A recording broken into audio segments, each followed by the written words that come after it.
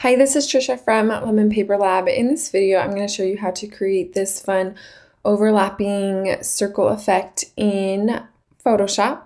If you would like the design files for this tutorial, uh, be sure to uh, check out my Patreon page where I upload all of the uh, design files for um, all of my tutorials here on YouTube. If you'd like to uh, support this channel, go ahead and check that out and I will leave a link to uh, my Patreon page in the description below. To start off with, we're going to go ahead and create a new file.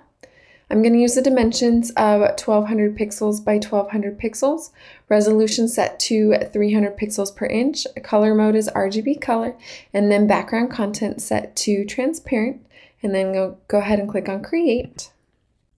From here, we are going to use the shape tool to create a circle. The keyboard shortcut for the shape tool is U and then you're going to use shift U to toggle between them. So here I currently have the triangle shape tool selected. So I'm going to go shift U until I get to my circle. You can also right click here to uh, select the tool that you want. Clicking on my canvas here, I'm going to create a circle that is the size of my canvas. So we're going to go 1200 pixels by 1200 pixels and then just clicking on OK.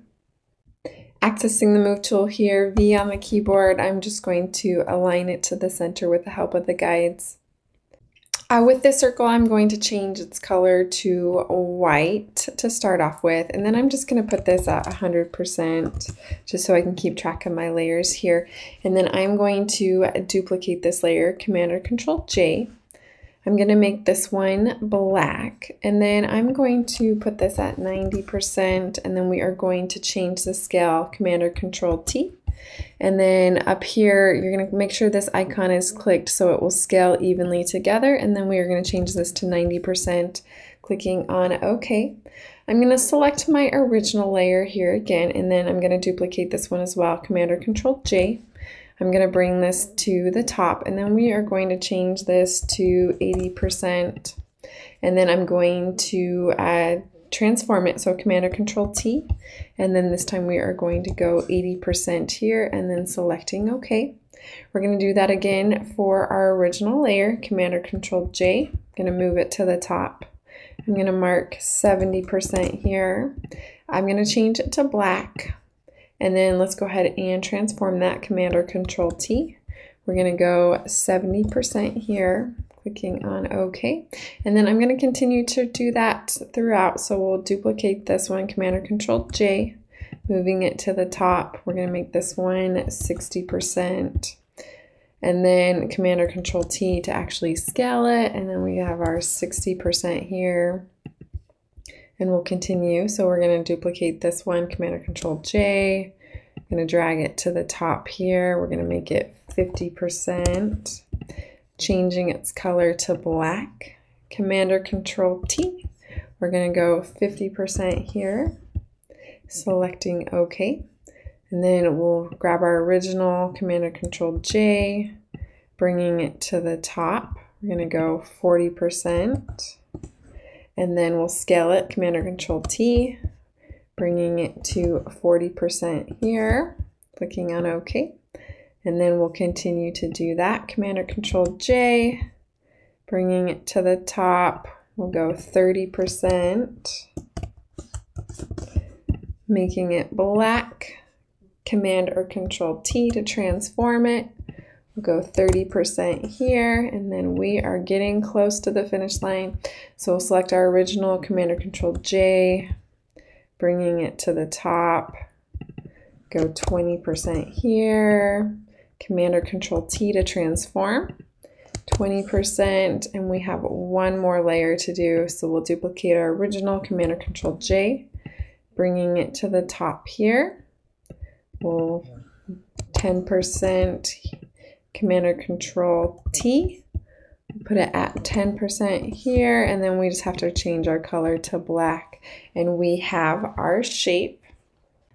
Now that we have all our layers, I'm going to go ahead and go shift click to select them all. I'm going to right click and convert to smart object. And then uh, from here, we are going to duplicate it into the four corners. So I'm just going to go ahead and duplicate this layer, Command or Control J, using the move tool V on the keyboard. I'm going to go ahead and zoom out command or control with the minus key so we can see it a little better. We have our copy here and we are just going to drag it to the corner here. Let's go ahead and duplicate that layer, Command or Control J. And then we are going to drag it to the bottom here, waiting for those guidelines to help us. And so uh, the two opposite corners are going to be on top of our original circle. And then let's go ahead and duplicate this layer, Command or Control J. We're going to drag it to uh, this next corner. For this one, we want it to be below our original, so I'm going to drag it below the original there. And then I'm going to go ahead and duplicate this layer, Command or Control J, and then we are going to bring it up to this corner here using the guides to help us align it, and we have that one underneath our original layer too. So now that we have our pattern here, I'm going to go ahead and define it. So I'm going to go Edit, Define Pattern. You can give your pattern a name and then just go ahead and click on OK. Let's go ahead and test this pattern. So I'm going to open up a new window. So I'm going to go File, New. This time I'm going to use the dimensions of digital scrapbook paper, which is 3600 pixels by 3600 pixels. Resolution set to 300 pixels per inch, and then we'll just leave our color mode as RGB color, and then just go ahead and click on Create. Let's go ahead and create a pattern fill adjustment layer. So I'm going to select on pattern here. Uh, you can use the drop down and select a pattern here, but I'm just going to go ahead and click on OK and bring up my patterns panel. Selecting my patterns panel here, highlighted in blue, I can see my most recent pattern. If you do not see your patterns window, you're going to go to Window and select Patterns. With my pattern fill layer selected, I'm going to go ahead and select that layer and we see our fun uh, overlapping circle pattern here. In this case, we cannot change uh, the colors here. So let's jump back into the original. I want to create it to where I can actually uh, change the colors. So since these are smart objects, they will all adjust the same. So we can go ahead and click on our smart object from here, I'm going to uh, start combining some of these shapes. So on the bottom two layers, I'm going to go ahead and command click to select both of them here.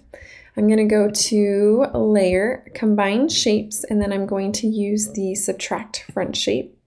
And then as we can see, it combined those, and now we have some transparent pixels here.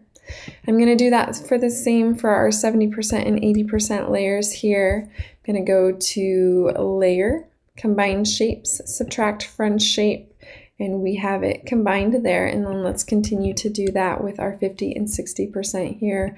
Layer, combine shapes, subtract front shape, and then we'll do that for our 30 and 40% layers. Layer, combine shape, subtract front shape, and then one more time here, layer, combine shapes, subtract front shape, and we've created the transparent pixels in between the layers. So let's go ahead and save this smart object, Command or Control S, and then we'll close this out, Command or Control W.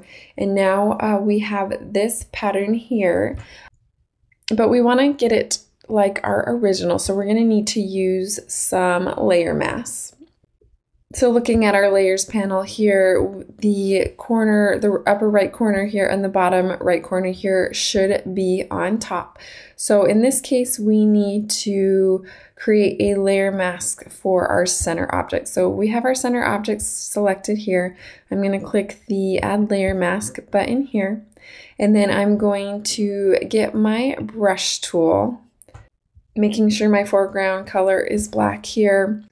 Looking at this top circle here, we have our middle circle selected. I'm going to start getting rid of the middle circle here, hiding it from view so we have the right overlapping effect of our objects. So we'll go ahead and just use the brush here to get rid of that there.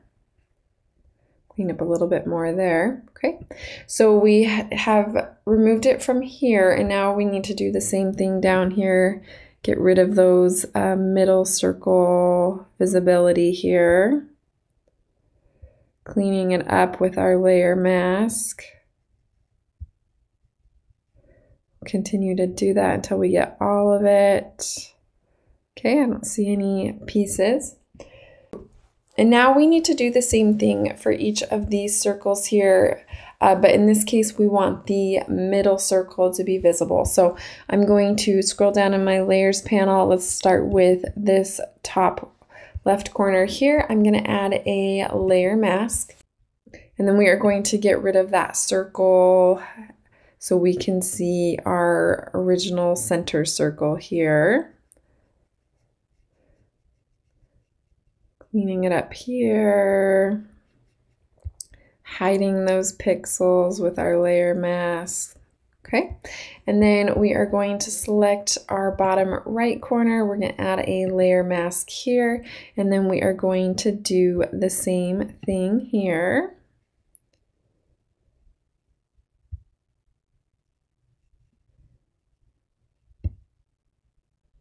Cleaning up this circle.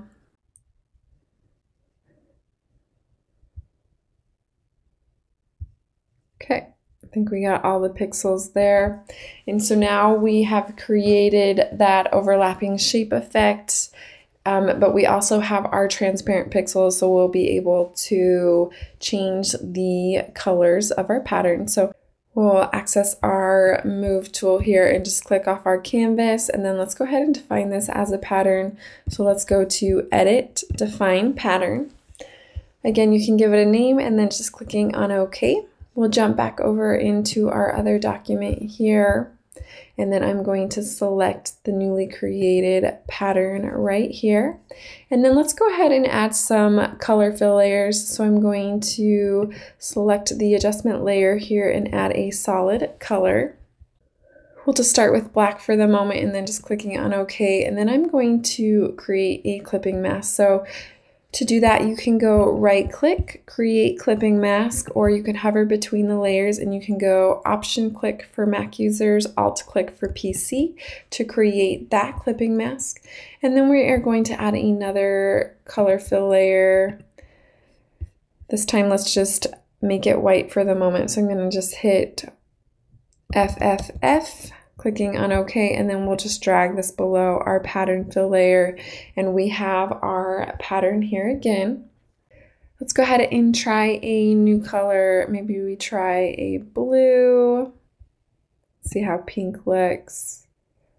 Okay, and then with this pattern fill layer, you can double click here and then you have the option to scale your pattern. So let's see what it looks like at 50% um, maybe a little bit bigger. Let's go 75% here. And then when this dialog box is open, you could always rearrange how you want it to lay on your canvas. If you want to get back to the original, just click on Snap to Origin. And then we'll go ahead and click on OK.